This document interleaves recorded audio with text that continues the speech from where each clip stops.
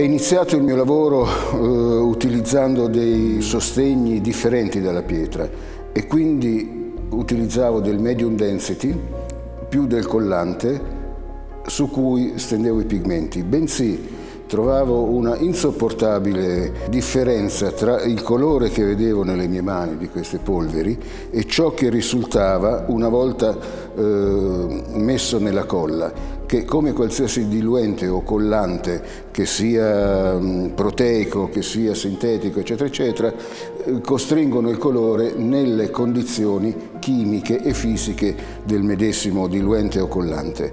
Vedendo questo colore così vivo e così eh, disposto ad essere manipolato ed ad essere elaborato, ho avuto la necessità di trovare un, una base su cui dipingere che poi eh, risultata essere la pietra serena, ottima per questa mia intenzione.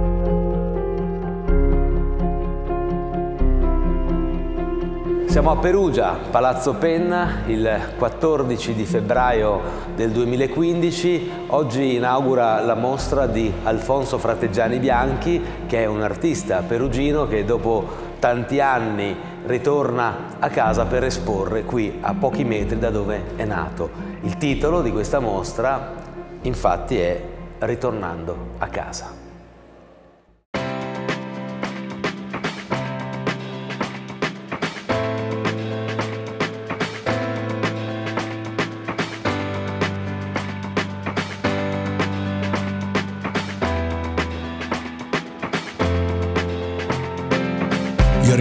Guardarsi intorno, come fosse il primo giorno dopo l'inferno. Tutto è fermo in un interno, tutto predisposto all'eterno. Sotto la polvere c'è della cenere, in quel posacenere. Quello che era di là, che è sempre stato di là, quello che usava papà, cosa ci fa su quel tavolo? Ho imparato a distinguere la pittura da tempo immemorabile e per esempio in America definiscono questa pittura pittura italiana, ma più che italiana è anche umbra, che è una delle culle del Rinascimento. Quindi eh, ritrovare questi vecchi amici o questi padri eh, si tratta di, di una rivisitazione e in fondo si tratta sempre di pittura, di differenti epoche, ma di affini intenzioni. Un uomo è vivo quando respira, un uomo è vitale se fa respirare. C'è un istante nel quale ogni uomo diventa suo padre. Un uomo nascendo conosce l'amore, un uomo crescendo impara ad amare. C'è un istante nel quale ogni uomo diventa sua madre. Dunque, la mostra si intitola Ritornando a casa e vuole mettere a confronto due modi di fare arte apparentemente diversi ma in realtà legati da un rapporto direi di parentela. Da una parte le opere monocromatiche di Alfonso Fratteggiani Bianchi perché la mostra è sua e dall'altra invece quelli che io amo definire i parenti stretti e cioè quei pittori che sono vissuti in un tempo lontano tra la fine del 1300 e la metà del 400 che sono la, la provenienza. Allora noi eh, distinguiamo sempre l'arte antica da quella contemporanea, in realtà l'arte è sempre stata contemporanea. I pittori che qui eh, sono esposti eh, insieme alle opere di Fratteggiani Bianchi erano un tempo pittori contemporanei. Quindi ho immaginato questi pittori che vivono nei depositi della Galleria Nazionale dell'Umbria eh, ho pensato che per un momento lasciassero il luogo dove, dove essi vivono abitualmente per andare a rendere omaggio al loro concittadino, in quanto eh, Frate Gianni Bianchi è artista che nasce a Perugia. Tra l'altro nasce a pochi metri da questo palazzo, Palazzo Penna, in cui, ha, eh, in cui è in corso la mostra.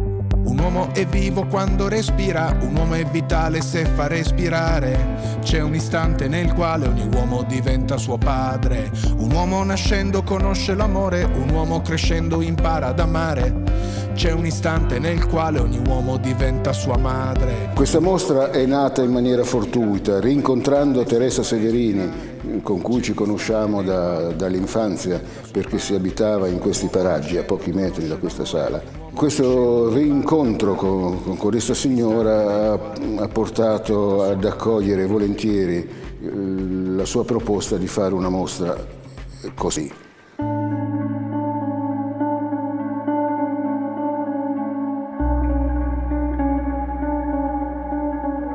La copertina del catalogo eh, riprende un particolare di quest'opera di un pittore vissuto nella seconda metà del Quattrocento che si chiama Giovanni Boccati ed è una Madonna che accoglie nel suo splendido manto una serie di figure. Ecco, io ho immaginato questa Vergine come se fosse una madre intesa come madre pittura, una madre che accoglie i suoi figli e Alfonso Fratteggiani Bianchi è uno degli ultimi figli, è il figlio del nostro tempo.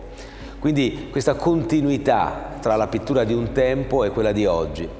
Certo, un tempo i pittori volevano e dovevano rappresentare dei soggetti che la committenza suggeriva loro, in questo caso una committenza eh, devozionale. Oggi tutto questo naturalmente non avviene più perché a raccontare sono altri mezzi molto più potenti come la televisione, il cinema eccetera e quindi la pittura da cent'anni a questa parte ha preso anche un'altra strada. Esiste ancora la pittura figurativa ma esiste anche la pittura monocromatica che forse ha anche una data d'inizio che può essere il 1915 con il primo quadrato nero di Malevice.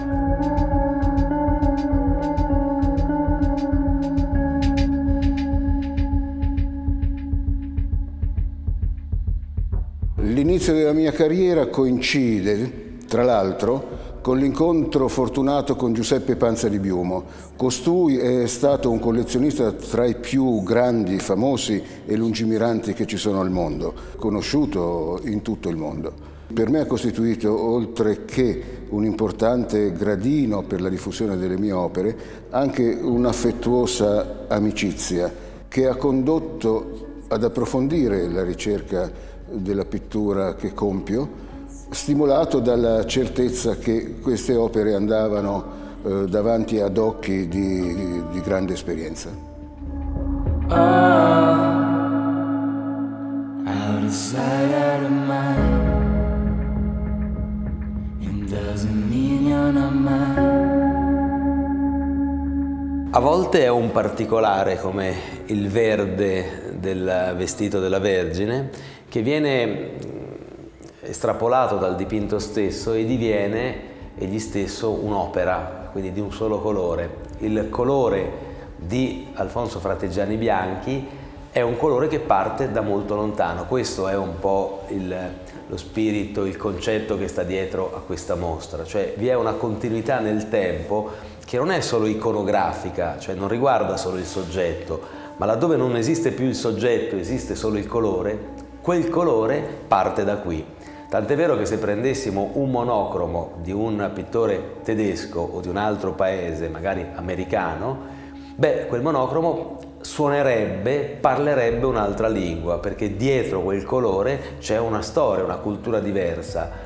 Il monocromo di Alfonso Fratteggiani Bianchi ha origine qui, in, in, Umbria, dove lui è nato e cresciuto e dove ad accoglierlo oggi ci sono i pittori che un tempo, molto remoto, erano contemporanei. Oh, out of sight, out of mind. Doesn't mean you're not mine. feeling goes on.